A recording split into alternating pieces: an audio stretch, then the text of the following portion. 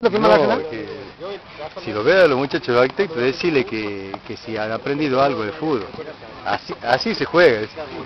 Eh, con todo ahí, bueno, viste, giraba el short de guida bicicletita, eso no va ya. Eso es fútbol, toque, contundencia. y se me odian, bueno, después charlamos con ellos.